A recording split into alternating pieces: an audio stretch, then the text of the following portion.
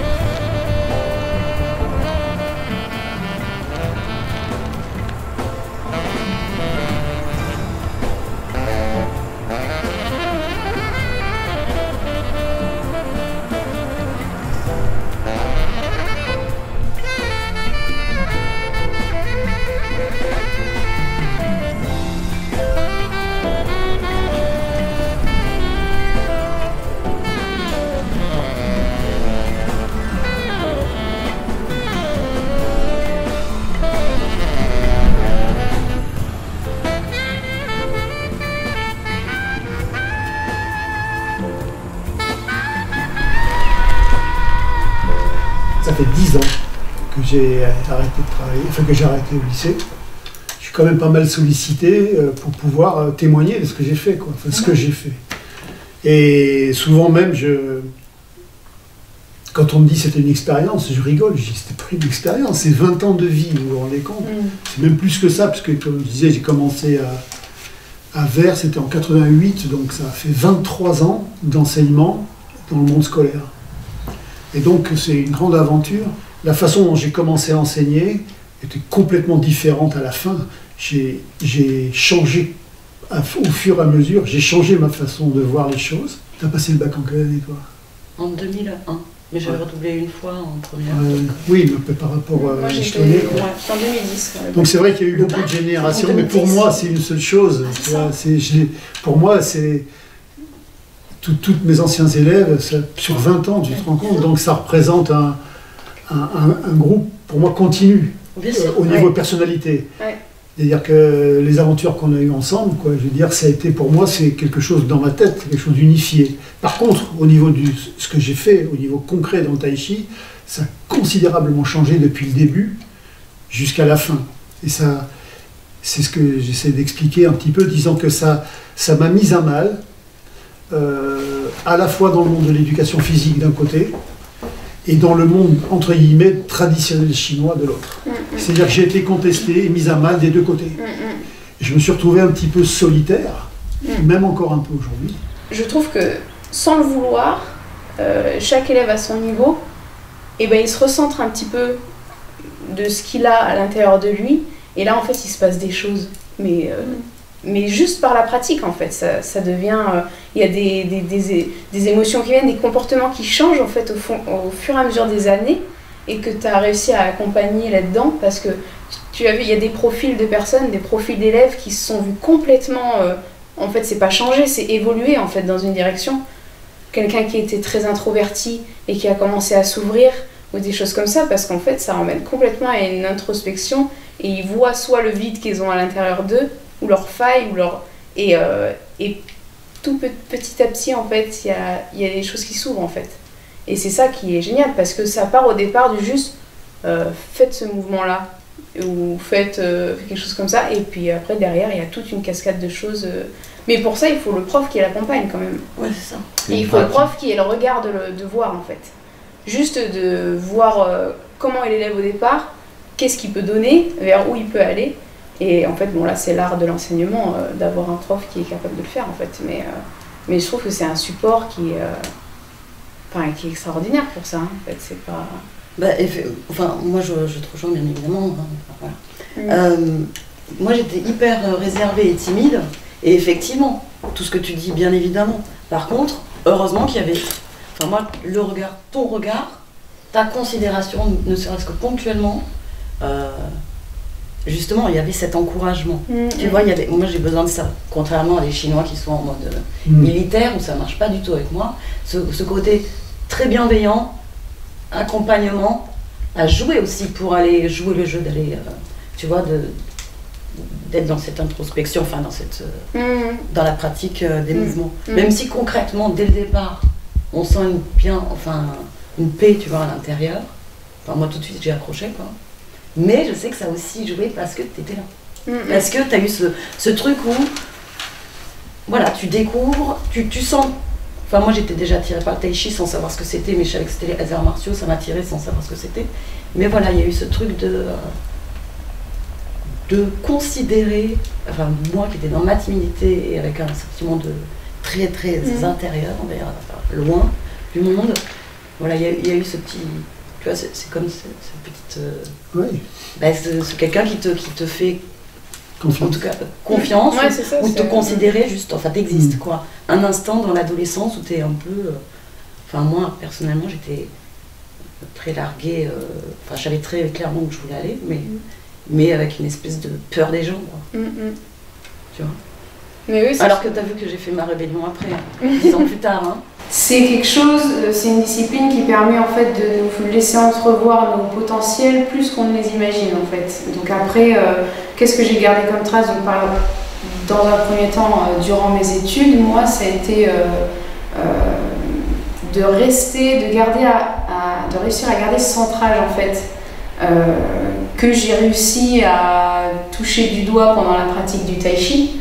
Euh, et ce qui fait qu'en toutes circonstances, pendant des événements euh, très déstabilisants que sont les études supérieures, euh, là où on va nous juger en permanence, nous évaluer encore plus en permanence, et ben de rester malgré tout centré, ancré, c'est quelque chose qu'on apprend beaucoup dans le tai chi, et en même temps pour pouvoir développer, là dans mon cas particulier, une sensation qui doit être palpatoire, très fine, et en fait le tai chi a a commencé à ouvrir une porte là-dessus.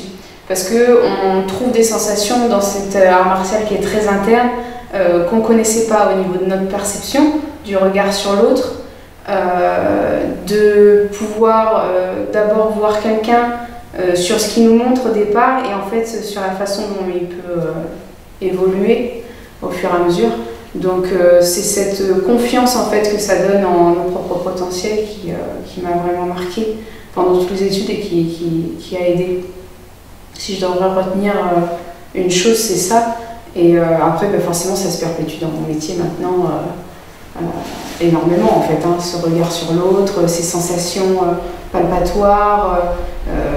et en fait, cette façon de ne pas se faire déstabiliser trop facilement, en fait. Ça, c'est le twishu, c'est l'exercice à deux quand on doit déstabiliser l'autre dé- désenraciné. Euh, c'est euh, c'est énormément utile parce qu'on va utiliser en fait ce qu'on reçoit pour le renvoyer dans l'autre sens, mais avec bienveillance en fait. Et ça, quand on arrive à le toucher, alors je dis pas que j'arrive à le faire tout le temps, mais quand on arrive à le toucher de temps en temps, euh, euh, on arrive à rester calme en fait à l'intérieur. Et euh, ça, on s'en sert toute notre vie, je pense. Euh, Elle, c'est un peu spécial parce qu'il y avait les cours, comme, disait Marie tout à l'heure, on disait euh, les élèves de seconde qui m'étaient confiés par classe entière, ils Donc, arrivaient et ils disaient vraiment vous êtes à l'hexagone, point. Et moi j'arrivais, ils disaient ben, vous allez faire un trimestre de sport collectif, vous allez faire un trimestre, je ne sais plus ce que je faisais, la course à pied Natation. ou de la natation. Natation, Et puis je disais, puis vous allez faire un trimestre de, de, de- de tai chi, obligatoire pour tout le monde. Tu vois Donc ça, c'est tous les élèves que j'ai eus en tant que prof d'EPS pendant 20 ans, ils ont fait obligatoirement du tai chi en seconde. Bon, bah moi, après le, après le bac, j'ai j'ai fait euh, un parcours dans le milieu du spectacle vivant, euh, en, en balayant un peu tous les métiers et en, en ayant surtout pratiqué euh, la place de acteur euh, sur scène. Quoi. Il y a eu le théâtre et le tai chi ouais, qui en a découlé euh, et le, ça a très très vite Ouais. Accroché sur le tai chi. Donc Ça, là, il y avait vraiment une volonté euh, d'aller au-delà hein, d'une simple pratique hein, de, de découverte en EPS. Oui, ah oui, complètement. Oh, Le PS, bah, du coup, euh, pour nous, le PS, c'était le, euh, on va dire, le loisir du tai chi, le moment loisir du tai chi où, euh, en plus, on aimait bien, je me souviens avec Lisa, parce que euh, du coup, on, on t'aidait un peu à apprendre les formes aux élèves, etc. Et du coup, c'était c'était sympa de, de faire découvrir aux camarades qui, qui je me souviens, avant que de faire le trimestre de tai chi, ah, tu fais du tai chi, euh, tu vas faire ton tai chi, et ils avaient jamais vu, du coup, vu que nous, on en faisait euh, en UNSS ou à l'association, ah, tu fais ton tai chi, ton machin, puis après, boum, ça a été à eux de le faire, le trimestre est arrivé. Et là, bah, au départ, tout le monde gêné, hein, l'ado, hein, l'ado gêné qui doit faire des mouvements de tai chi, et, euh, Et puis après, petit à petit, ça se décoince et ça devient plus fluide. Et Play commence à trouver un intérêt qu'ils ne comprennent pas trop, mais ils ont un intérêt à le faire. hein. C'est vraiment très subtil en fait. Et, euh, et à la fin, ouais, il y a des personnalités qui se, qui se dévoilent. hein, c'est intéressant. hein. Je, pense à plein de profils différents qui, euh, qui sont révélés comme ça. Ouais. C'était euh, vraiment, vraiment intéressant.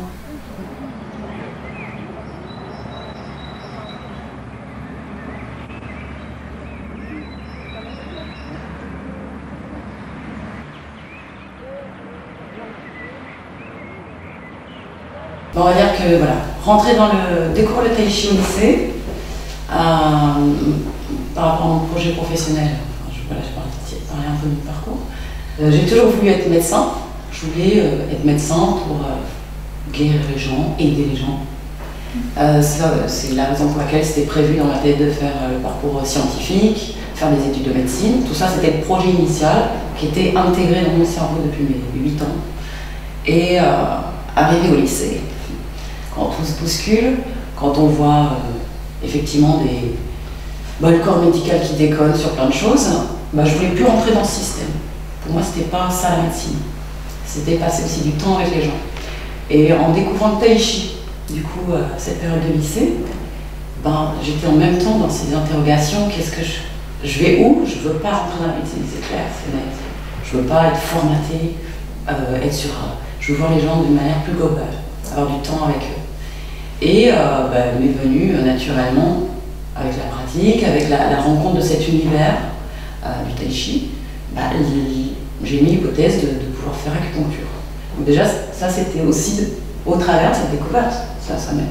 Tu vois, t'aurais été pour de yoga, donc j'aurais voulu faire de tu vois. Non, enfin, tu vois, ça aurait donné une petite piste, je sais pas, c'était le. Mais j'ai pas fait le lien tout de suite, tu vois. je- D'ailleurs, je me souviens quand du coup j'ai sollicité les écoles, je t'ai apporté, euh, c'était la seule école où c'était des Chinois avec des traducteurs simultanés. Mais là, j'ai voulu pour la première fois te demander un avis personnel, quelque chose. C'était ma première euh, interaction personnelle sur. euh, euh, voilà, tu, m'as dit, ça a l'air d'être sérieux, quoi. Bah, le Tai Chi qui m'a fait découvrir cet univers chinois, on va dire. Tu vois La notion de martial, enfin, tout ça. Et cette perspective vers, vers la médecine. Donc, je suis montée à Paris. Euh, j'ai fait mes études de, donc de, 2001, euh, de 2002 à 2007, d'acupuncture principalement. Et euh, en parallèle, donc, il y avait les compétitions, en parallèle, il y avait les, voyages aussi en Chine, parce que du coup, ça aussi, tu m'as encouragé sur Ah, mais pourquoi tu n'apprendrais pas le chinois? Là, c'était waouh, c'était grande classe, parce que j'ai toujours voulu apprendre les langues, mais en étant dans le scientifique, je ne me permettais pas. Il y avait un petit pont que je n'arrivais pas à assumer. Dans le côté martial du tai chi, il y a le travail à deux, ce qu'on appelle le travail à deux. Donc là, tu vas voir arriver Julian, qui lui a quand même été vice-champion d'Europe de, de. Dans les moments de souffrance physique, de, où il fallait vraiment tirer sur l'outil euh, corps, euh, c'est ce qui m'a servi vraiment à, à pouvoir aller au bout, à chaque fois à tenir le coup. C'est vraiment les outils euh, issus du tai chi. De toute façon, avait un peu touché du doigt aussi dans les compétitions en Tuichou, quand un moment ça va, ça va fort. Il faut toujours sans cesse revenir à ces bases d'enracinement, de, relâchement des muscles inutiles euh, à ce moment précis pour pouvoir garder le plus d'énergie disponible, faire circuler tout ça. Julian, lui, est allé, oui, jusqu'à faire des compétitions, jusqu'en Russie. Et, et dans Tuichou, là, c'était des, j'ai des souvenirs merveilleux d'elle. Par exemple, euh, Marie, je me souviens de Marie, après je reviendrai sur ton histoire.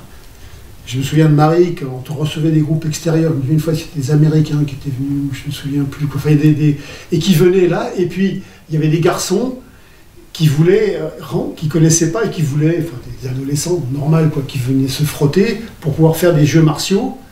Et ils voulaient le faire avec des garçons. Faites avec. Et ce que j'avais fait aussi, aussi souvent avec Aurélie, je dis, faites avec elle. Et alors là, les mecs, ils étaient scotchés parce qu'il n'y en a pas un qui pouvait les décrocher. Ah. C'est vrai qu'au début, il y a ce côté, euh, donc, qu'ont évoqué les filles tout à l'heure, c'est-à-dire euh, euh, découverte personnelle, développement, enfin ce qu'on appelle, moi j'aime pas du tout ce mot-là, Ouais, enfin en tout cas, découverte de soi Mm. autrement quand on est adolescent à travers quelque chose qui est juste du savoir-faire. sans aucune considération euh, ni philosophique, ni ésotérique, ni rien du tout. En fait, c'est ce, dont vous avez témoigné. Mm. Le côté martial a quelque chose encore plus. C'est-à-dire que le côté martial nous interroge dans notre relation directe à autrui.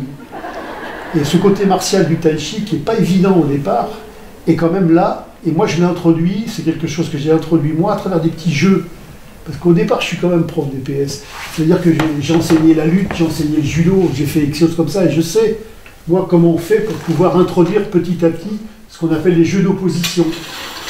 Et donc, ces jeux d'opposition, je les ai reconfigurés euh, avec la connotation tai chi chuan tous ces petits jeux que vous avez fait, là, par terre, en tirant le bras ou en poussant, etc. Tous ces tuichous qui sont un peu, euh, qui étaient un peu sous forme jouet, euh, ont été, ont été pour moi très importants en tant que maturation d'adolescent, justement de ne pas avoir peur, ne pas avoir peur de, de- rencontrer l'autre, en particulier sur le côté, eh ben, je te pousse pour te faire tomber, je te tire pour t'arracher, etc. Tout ce côté-là, j'ai trouvé très intéressant, moi, de, le- de le mettre dedans. Et c'est pour ça que, je- au début de ma carrière de, prof de tai chi au lycée, c'est pas des choses que je faisais beaucoup. Et à la fin, je fais- faisais pratiquement plus Ouais. que ça. Parce que je me suis rendu compte de, de l'importance que Mm. ça pouvait avoir. Mm. Pourquoi tout le temps partir du, simple pour aller vers le complexe Mm. Et que je me disais que quelquefois, on peut partir du complexe. Mm. C'est pour ça qu'à la fin, tous ces jeunes qui arrivaient là, le, mercredi après-midi à l'UNSS, qui venaient de, de, de Claveil, etc., ils rentraient directement avec le Sanchu, alors que moi, on m'avait dit, Oh le c'est trop compliqué, il faut 20 ans de Tai Chi pour le faire, etc. Non, il faut 15 jours de Tai Chi pour le faire. Ça a été moi, ma, ma révolution à moi, elle était là. Et qui m'a fait changer aussi de, de conception, et qui m'a fait euh, mettre en cause beaucoup de choses dans l'apprentissage du mouvement. Donc en fait, ce qui s'est passé au bout de 20 ans, c'est grâce à vous, ça m'a apporté d'eau à ma... Pas quelque chose que j'avais préconçu, mais quelque chose que j'ai découvert petit à petit grâce à vous. C'est aussi un moment où il y a une énergie qui, euh. Une fois qu'il y a la curiosité qui est, enfin si, ouais, du moment que la curiosité est là, euh, enfin c'est un moment où on n'a pas encore euh, de famille à gérer, de d'emploi, de d'argent à gagner, de tout ça. Ça fait qu'on peut se rendre disponible. Peut-être c'était aussi des moments où il y avait aussi moins les réseaux sociaux. Ça, j'en sais rien. Ça, j'ai. Ah, mais ça, c'est sûr. Peut-être, mais moi, il hein, mais, euh. Il y avait cette, euh, ouais, on était quand même dans une époque en tout cas où on était encore très dans le concret. Mm, Il me mm, semblait. mm, mm. Du coup, Ah euh, oui, c'est vraiment que la période trouves, en y euh, réfléchissant, ouais, où tu peux vraiment te donner euh, tout ce que tu as. Ouais. mais Et oui. c'est dommage parce que dans les systèmes d'enseignement ou la façon dont euh, c'est géré euh, au niveau éducatif maintenant dans les lycées, ou le- eh ben, je trouve qu'on on, on sollicite pas assez ça. Et là, c'est vraiment un système dans lequel on est tombé, ou qu'on a eu la chance d'avoir, où Mhm. vraiment on nous donnait l'occasion de. Et là, l'énergie de l'adolescent, on, le, on voit l'utilité, quoi. Souvent, elle est déviée, malheureusement, d'une mauvaise façon, ou pas bien dirigée. Et là, vraiment, c'était l'occasion d'y aller à fond. C'est très intéressant de venir poser des questions longtemps après euh, l'enseignement. Parce qu'un des grands problèmes dans l'enseignement, c'est se poser la question, évaluer ce qu'on a, enseigné. Et la plupart du temps, euh, les gens qui sont dans l'enseignement évaluent juste quand l'apprentissage est fini. Et d'ailleurs, c'est ce qui se passe à l'école, au lycée, etc. On, on- on- le juge de paix du baccalauréat à la fin, etc., etc. Tout ce que vous connaissez. Or, moi j'ai toujours prétendu, en tant qu'enseignant du mouvement, en tant que prof d'éducation physique, que quelquefois l'évaluation arrivait très longtemps après. Le- L'exemple que je donne, vous m'avez connu aussi en tant qu'enseignant de course à pied. J'ai enseigné la course à pied et moi j'ai toujours dit, bon bien sûr, à la fin du cycle, on peut faire une évaluation pour une note, etc. J'ai dit, moi, c'est pas l'important.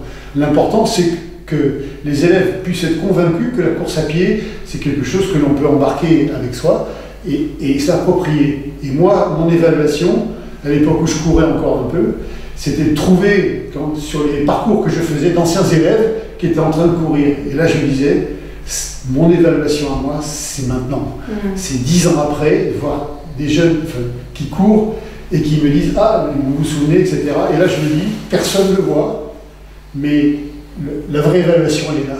Mm. Voilà. Donc, à la lumière de ça, je dis par rapport au tai chi aussi, C'est-à-dire que, effectivement, on a, fait, on a parlé de compétition, on a parlé de, de ce que vous avez fait, ce que vous avez, euh, ce qui vous a aidé dans l'adolescence. Mais maintenant, il y a une question qui est encore plus importante. Et là l'occasion est belle de vous dire, bon ben voilà, après de nombreuses années, hein, c'est maintenant, toi, ça fait plus de 10 ans, euh, 20 ans pour, pour, Aurélie, dire, comment vous pouvez évaluer, vous, je ne parle pas de, nos souvenirs euh, en tant que rela- relationnels, hein, je parle aussi en tant que le tai chi en lui-même, ce que, qu'est-ce que c'est, qu'est-ce que...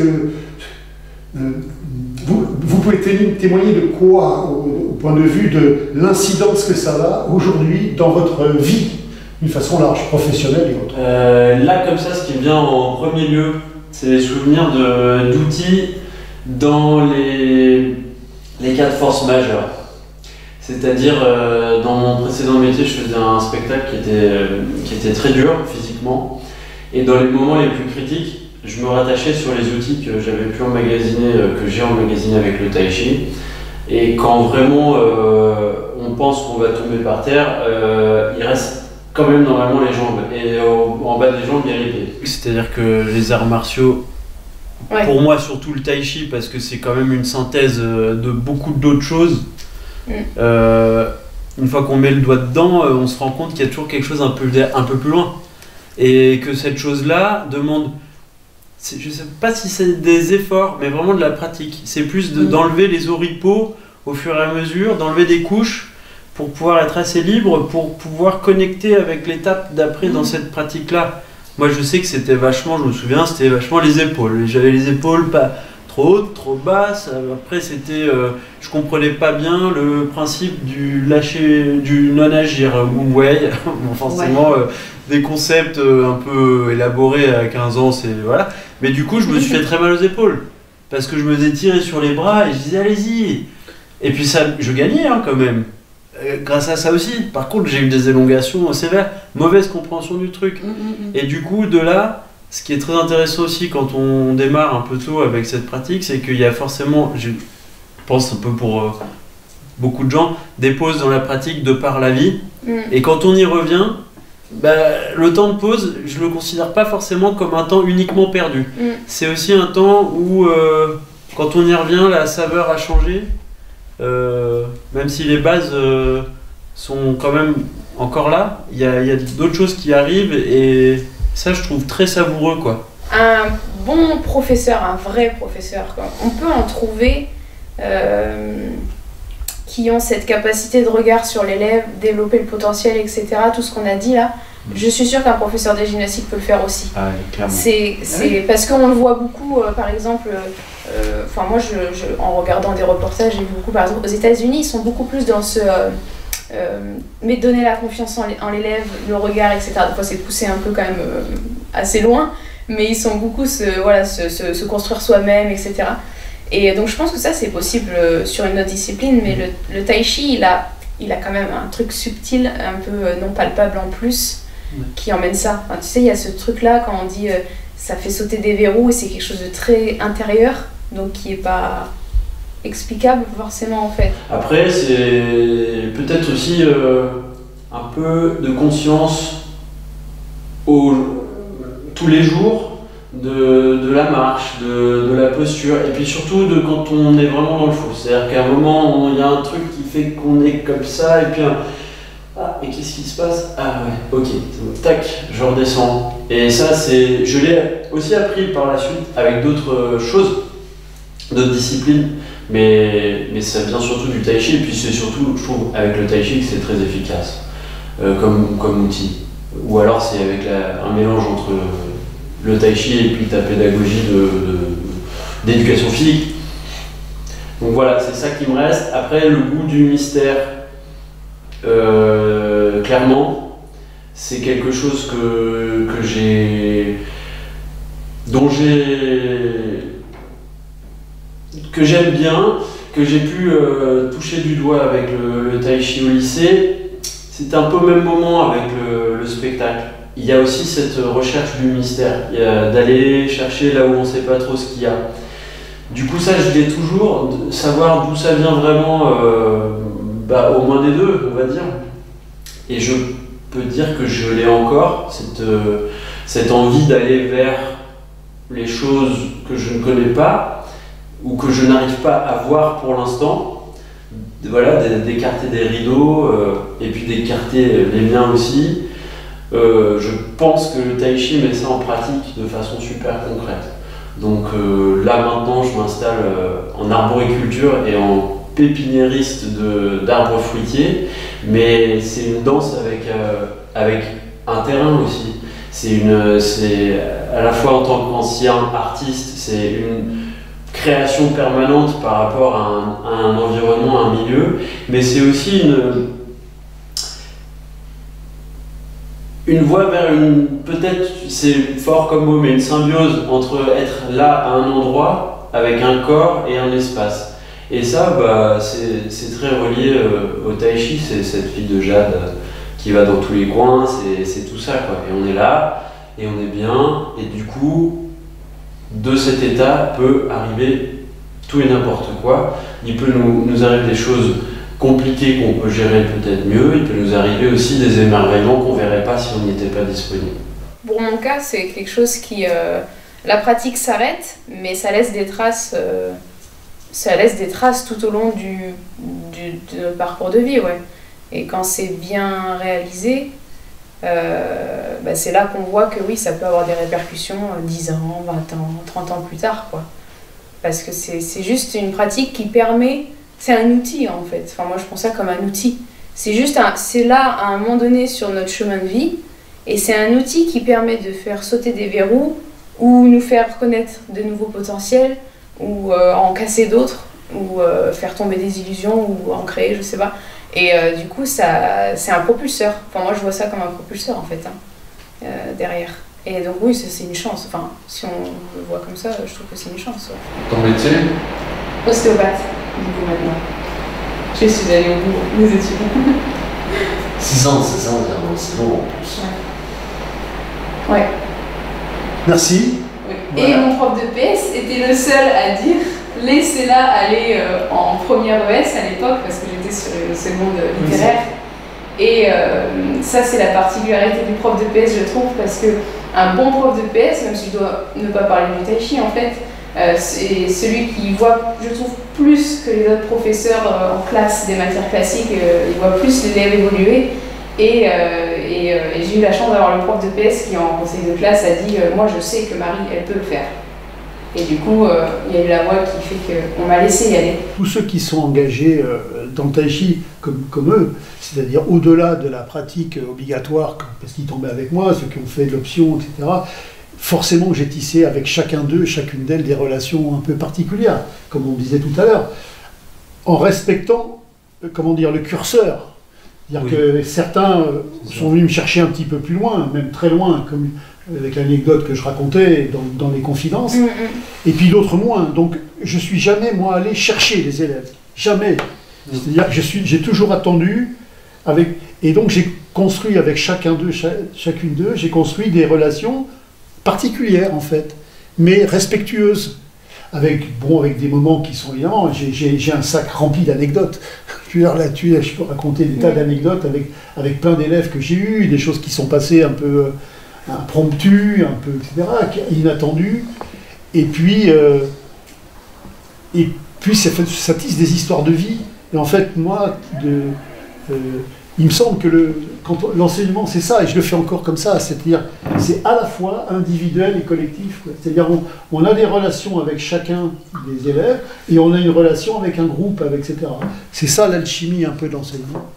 Mais ouais, en effet, je pense que tu Mais ça, c'est plus, euh, je pense, ton rôle de, de prof de- d'éducation euh, nas- enfin, de- d'éducation nationale, on va dire, de- d'avoir fait attention, ce qui est normal, à, à garder euh, les gens sur un pied d'égalité, justement pour pour pas frustrer certains et puis les empêcher de s'ouvrir, alors que c'est un moment où l'ouverture et la fermeture peuvent arriver super vite, super fort.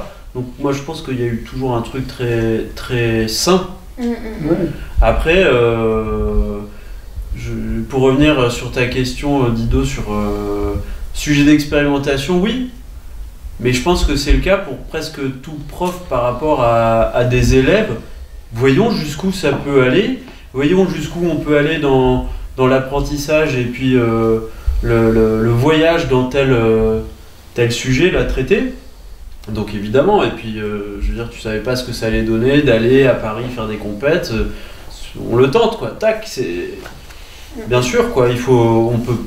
C'est pas, un truc à cacher ou quoi que ce soit, c'est dans le rapport, c'est, je pense, normal quoi. La perception, elle se fait avec la pratique. Oui, final. après avec l'ouverture, c'est pas- comme tu dis, il y en a, euh, il y en a c'est pas leur, euh, c'est pas leur sauce et du coup ils- c'est pas quelque chose qu'ils vont percevoir, mais euh, il y a une autre personne, ça sera peut-être à travers la gymnastique qu'elle va percevoir tout ça, parce que voilà. Bien sûr, mais, bien sûr. euh, mais oui, c'est quelque chose qui est. Ou à travers la poésie. ou- Oui, voilà, Oui, c'est comme, euh, mais c'est c'est un outil oui qui est particulièrement fort là-dessus. En pratiquant du coup à nouveau le tai chi, plus euh, le. Du coup, je me suis- j'ai essayé d'arrêter la médecine chinoise dans un premier temps, parce que j'étais aussi face à des limites. Je continuais du coup les cours euh, avec la Grande Ours, Marseille, l'association. Et petit à petit, tu, on étudiait la forme saune, et puis tu m'as donné le feu vert pour enseigner. Et là, c'était la magie. Parce que. Enfin, bah, c'était génial en fait. Moi, j'aime enseigner, enfin, ça, j'ai constaté, c'est clair. Transmettre la technique, c'était ça qui était chouette. Euh, dans ces cours-là, Catherine aussi venait, et je disais, Catherine, c'est toi qui gères l'intro, moi je sais pas parler, tout ça, la présentation, je peux pas. Par contre, après, je fais tout le reste. Tu fais l'avant, l'après si tu veux, mais. Donc c'était un peu notre binôme, on était comme ça. Elle, elle avait des petites anecdotes, euh, moi j'étais pas du tout à l'aise, donc euh, voilà, petit à petit, je me suis un peu décoincée, mais, euh, voilà, ça c'était euh, magnifique. Enfin, pour moi, c'était un beau cadeau de voir euh, les gens après pratiquer la forme soude. Parce que tu as enseigné le truc, et cette transmission. Non, mais c'était fort, c'était énorme. Et, surtout le retour, mais euh, des gens très gentils, des gens qui étaient envoyés beaucoup par des kinés ou médecins qu'on connaissait en fait, ils nous, envoyaient des, passe- des gens qui avaient des problèmes de. Ça n'allait pas être des. des pas, il y avait quelques jeunes, mais c'était pas des, des, fous de, des arts martiaux, c'était pas du tout ça. Ils y allaient pour euh, que ça recircule, pour trouver un, meilleur confort dans leur corps. Moi j'étais sensible à ça. Et ben, il y avait déjà des retours, même euh, enfin, à peine avec les échauffements, enfin, très rapidement, les, plus il y avait une bonne entente. Enfin, j'ai adoré de découvrir cet échange humain, en fait, en même temps transmettre un outil pour eux. Et c'était un truc qu'on rappelait tout le temps, c'est euh, quand vous la connaîtrez, attends, il est hors de question que dans 20 ans, on se voit encore, quoi. C'est, voilà, on transmet un outil et t'as des bagages, quoi, pour aller bien dans ta vie.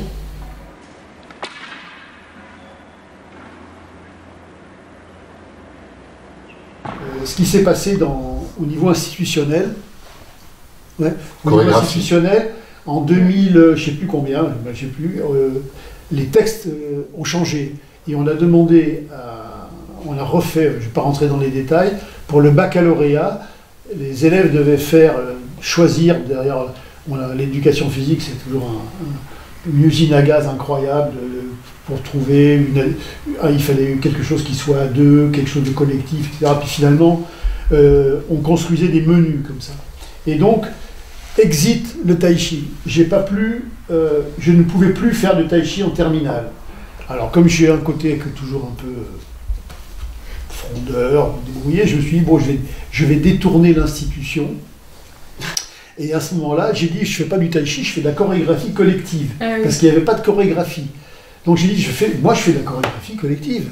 C'est-à-dire que j'ai des élèves en groupe qui dansent sur une musique qu'ils ont choisie, mais ils le font avec un sabre, avec un éventail, etc. Donc j'avais détourné le truc, et en fait, c'était à la fois du tai chi et à la fois répondre à l'institution, c'est-à-dire que les élèves apprenaient des formes, mais la transformaient, les mettaient à deux, à trois, à quatre, et construisaient une chorégraphie à partir de ça. Et c'est ce qui, c'est ce que, ce qu'il y a dans certains documents, parce que ça, on les filmait à l'époque, donc j'ai pas mal de, de souvenirs de ça.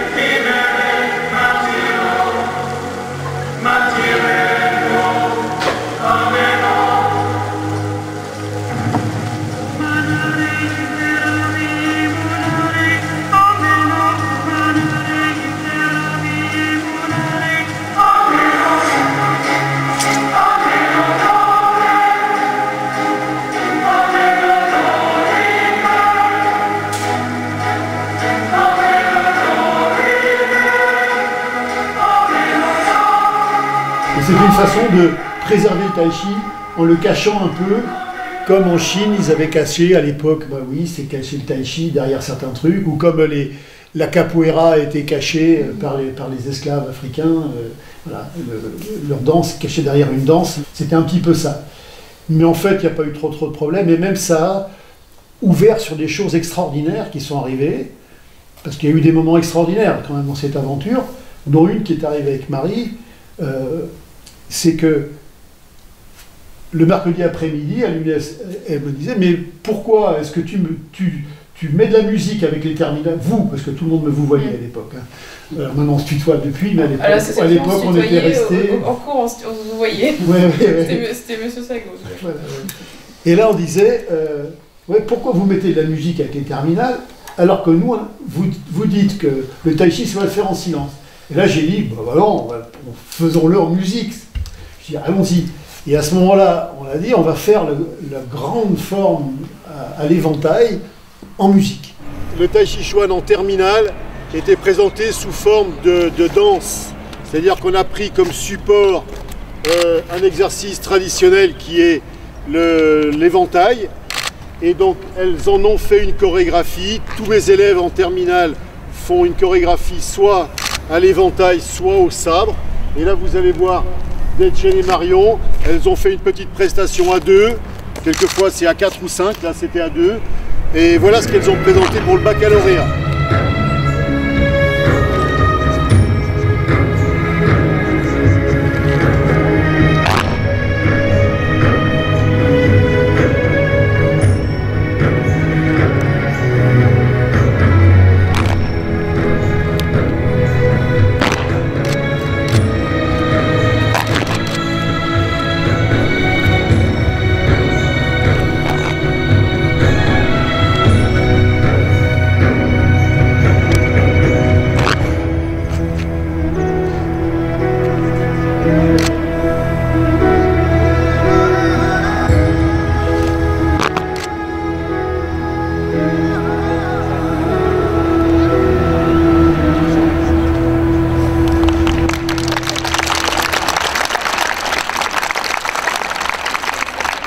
Et là, il y a eu un moment extraordinaire. Avec l'arrivée du hasard ou du destin. Ah je oui. suis arrivé, je dis, bon écoutez, mais vous choisissez votre musique. hein. Moi, euh, vos histoires de... on- au niveau musical, on n'était pas trop branchés. Il y a quand même une grosse différence d'âge. Et donc, euh, elle m'avait donné tout leur... C'était des CD à l'époque, j'avais tous mis, et puis bon, j'avais écouté vite fait comme ça, bon, truc plus ou moins qui m'intéressait. Et donc j'avais amené toute ta pile de disques. Et elles ont essayé de faire ça sur leur musique qu'elles aimaient, quoi, en tant qu'ado, quoi. etc. Puis bon, ça marchait pas trop, trop, trop bien, c'était Mm, plus ou moins bien. Et dans ma pile, j'avais, qui était là sur mon meuble, il y avait un de mes disques à moi dessous. Et je l'avais embarqué avec, mais pas volontairement, c'était par hasard. Et ce disque, c'était la messe en ut mineur de Mozart, chantée par Barbara Hendricks. Mmh. Et là, ils disent, mais et si on essayait ça? On met le disque, Ouais. il a un charme, Ouais. un charme. Ouais. Tu sais, comme dans les contes, extraordinaire. C'était évident. Ouais. Tu te rappelles de Ah ce oui, oui, moment-là euh, c'était- je m'en souviens très bien. Évident. Mm. Je veux dire, c'était ça. Mm. Et après, donc, vous l'avez fait, euh, c'était absolument magnifique. hein, Ouais. C'était magnifique. Comme si, euh, comme si elle avait été écrit, écrit pour hein, la musique, ouais. Ça se calait euh, C'était juste. Mm. parfaitement tout le long de la forme, ça se J'ai calait j'ai vu un extrait de cette. hein, je pense que c'est ça. hein, c'est ça Ouais. que j'ai vu C'était extraordinaire.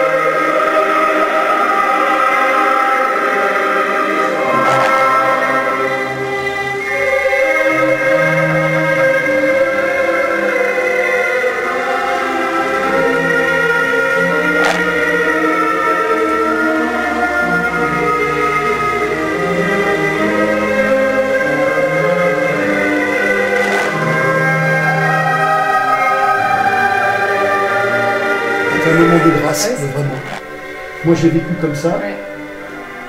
Et pour terminer, puisque là c'est aussi un, peu les, souvenirs au-delà de ça, euh, l'avant-dernière année, ou la dernière, je crois que c'est la dernière année, je me souviens plus bien, très très, très bien, Mhm. elles sont revenues me voir euh, pour une fête qu'on avait fait avec ma collègue Valérie, qui était prof de, de DPS comme moi, qui faisait de l'escrime, qui faisait une petite fête. Et à chaque fois, il m'invitait, comme je l'ai invité moi. Et vous êtes arrivés, ta sœur et, et toi, vous êtes arrivés toutes les deux. Et je leur ai dit, bah, écoutez, euh, ça s'est passé, ça s'est passé comme ça. Ça faisait un an qu'on ne s'était pas vu. Ah oui. Et j'aurais dit, Ah oui. faites, faites-le, faites-le, le- l'éventail. Sur Barbara Hendricks, allez-y. Oui, tu crois? Bah, Je dis, on y va. Je dis, si vous vous trompez, euh, c'est pas grave. on est entre nous. Et là, ça a été un autre moment extraordinaire, parce qu'elles l'ont fait toutes les deux. C'était parfait. Mm. C'était parfait. Tu vois, et là j'ai dit, et là j'ai dit, ce moment-là, quand elles ont fait ça toutes les deux, pour ça j'ai aussi un souvenir ému avec elles, je me suis dit, là, c'est la fin de ma carrière. Mm. Hmm. Tu vois, à ce moment-là, je me suis dit, maintenant, il peut se passer n'importe quoi. Je veux dire, là, c'est, c'est ce moment-là, j'ai dit, ben, si j'ai fait quelque chose de bien dans ma carrière, là, là, c'est la preuve. Tu vois, Aboutissement. Vraiment. Tu vois, au niveau du. T'as, ce souvenir de ce Oui, moment-là oui, je m'en souviens. Ouais, je m'en souviens, ouais, que c'était. C'est le genre de, de, de moment euh, qui arrive dans les moments où on s'y attend le moins, en fait.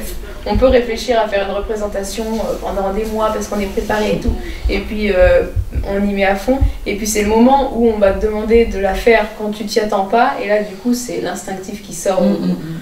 Parce qu'on n'est pas préparé et, euh, et c'est le genre de moment qui passe comme en une seconde et on arrête et on dit oh et on se demande ce qui s'est passé en fait.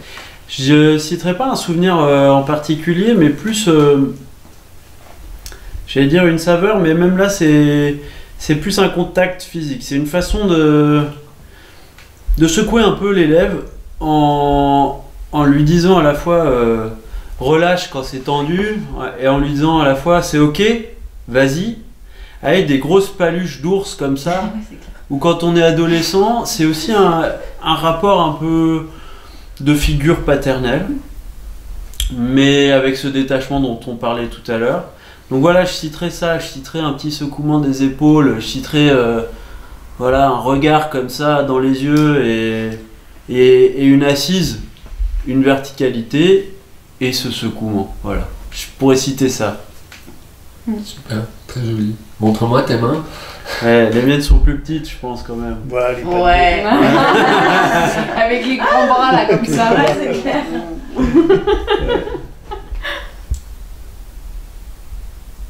Bah, il y a.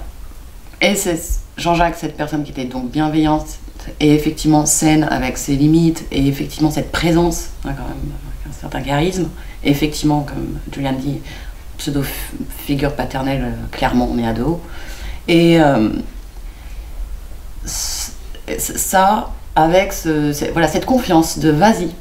Donc, on parlait donc d'encouragement tout à l'heure, ce petit, hein, ce petit truc de.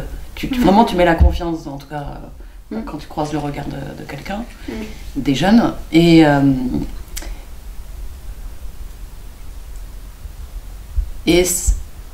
Ouais, je- en tout cas, là, une des premières fois, on va dire, cette découverte de cette pause, tu vois, en pratiquant.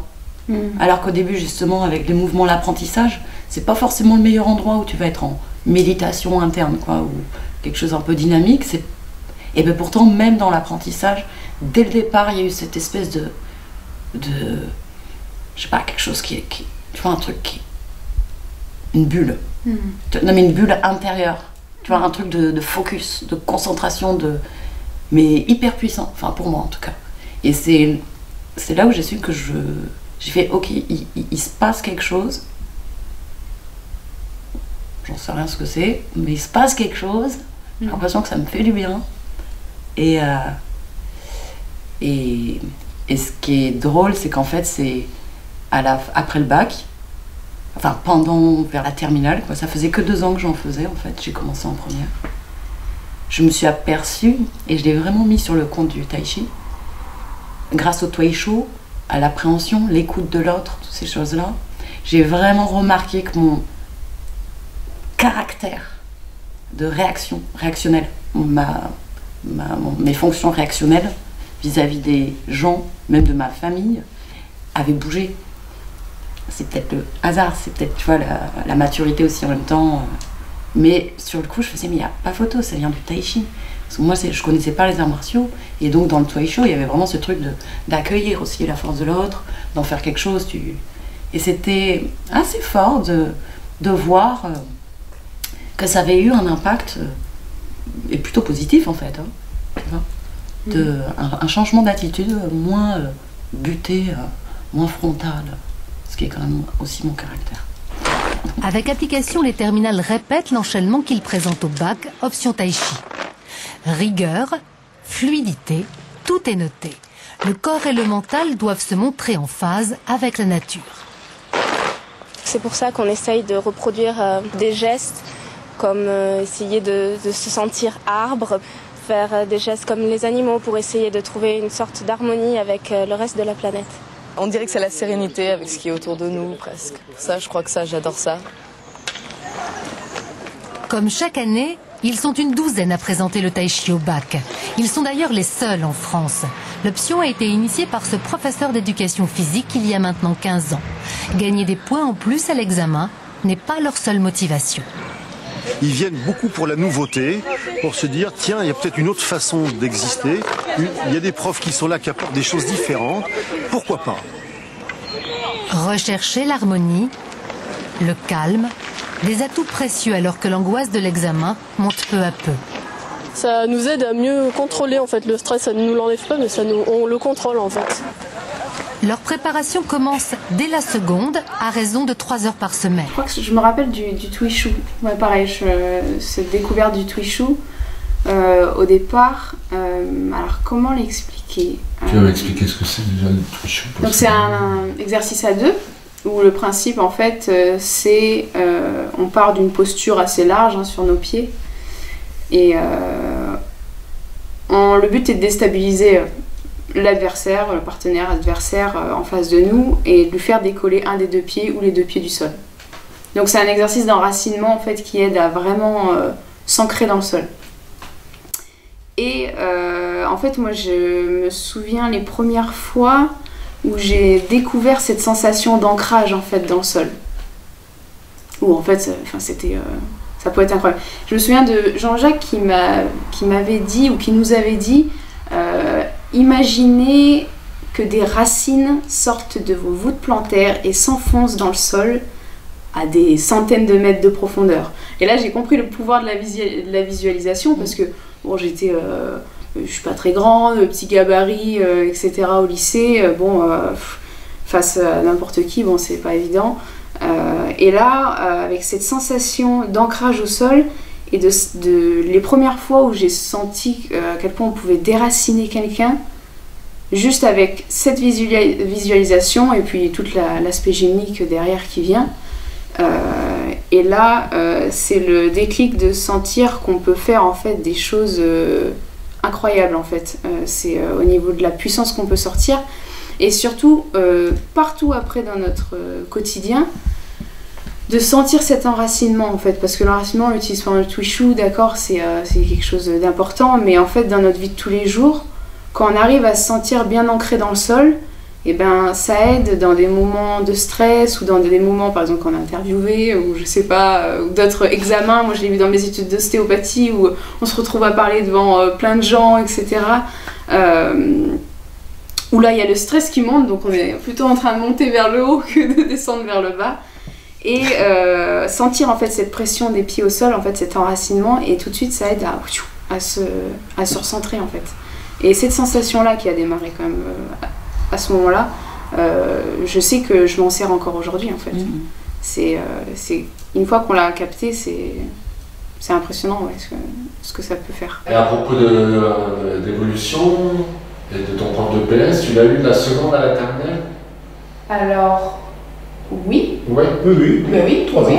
Oui, oui, c'est ça. Vous êtes restés ensemble trois ans. Ouais. Oui, parce que comme j'étais prof principal, euh, comme j'étais prof principal en, en- dans la seconde euh, option théâtre, Mm. Oui, donc, voilà. donc, euh, je recevais toute cette bande là de Zougou là, qui venaient faire du théâtre euh, en seconde à 15 ans, en pensant qu'ils allaient tout de suite être au Festival de Cannes.